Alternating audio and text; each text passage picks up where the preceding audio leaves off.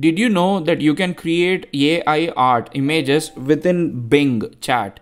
You can see that I've asked it to create draw Japanese watches. Even though my spelling is wrong, it has still managed to create Japanese watches. And I can ask modifications on top of it, just like how we used to do with DALL-E. So I can say, can you make them look green? Just in natural language, I can use the existing image and then I can say, can you make them look green? And it is going to attempt to take the existing image and then make them look green. If you have used DALL-E in the past, you know for sure that this tips that you're seeing on the screen is actually from DALL-E because Microsoft has integrated DALL-E with something called Bing Image Creator and that is now part of Bing Chat. And you can see these images that are created. These are 1024 by 1024 images.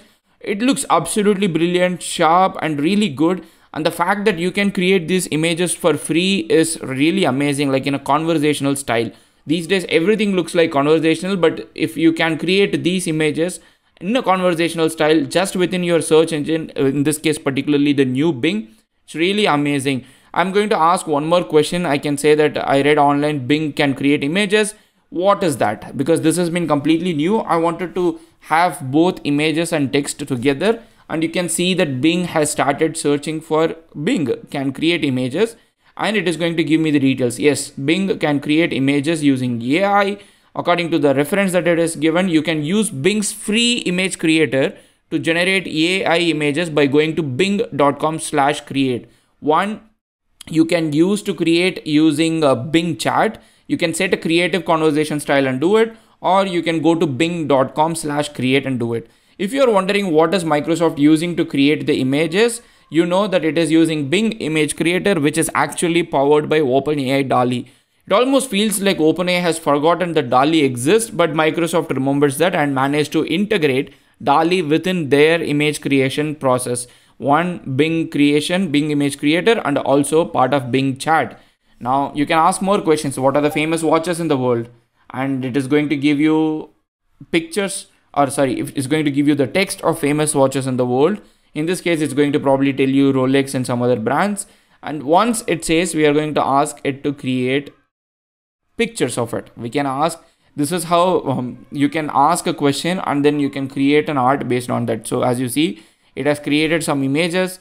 Uh, sorry, it, ha it has created some text. Now I can ask, can you make a sci-fi watch based on this? Oops it looks like there was some keyword maybe celebrity that was there and it has decided that we are using something wrong other than their content allowed policy. So ask something else leaving the existing question that we asked. So let's ask how about you create some science fiction looking rolex watches? And you might notice one thing uh, it is not as fast as what you would have probably experienced before. And i also learned from some twitter user that you might also hit some rate limits after a point but when you ask this question it takes a bit of time. It is not as near real time. Uh, it takes a bit of time for the image to get created. That's because we know that DALL-E has also been like that. But again the point here is that you can access DALL-E level uh, like DALL-E quality images within your Bing chat completely in a conversational style. And uh, that's going to create 1024 by 1024 these amazing images. I think I'm completely sold to use this feature like every now and then whenever I need to create an image. But whenever we get to create an image, especially when we see this um, um, high resolution images, I'm always wondering that is it possible to create YouTube thumbnails out of it? Like that's always a question.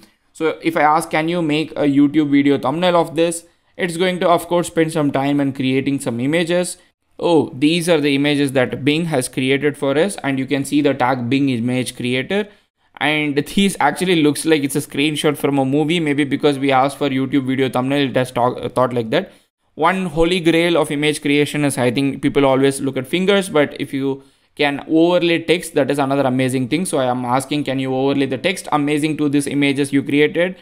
And i think we are going to be disappointed because i know for sure that DALL-E cannot do text. And uh, if DALL-E cannot do text bing image creator which uses DALL-E as a backend Will it be able to do it? Let's see. No, there is no text called amazing overlaid. It's just trying to overlay some random gibberish English text. This has been the case with DALL-E. This has been the case with Stable Diffusion. Um, there are not a lot of models that do really good images, but let's see what is going to happen. but right now i actually love this feature so let's thank bing and thank for the interaction i think this is an amazing feature for people who have not tried out image creation tools like stable diffusion and DALL-E and having this within your own conversational style search engine is quite absolutely brilliant. So thank you microsoft for enabling this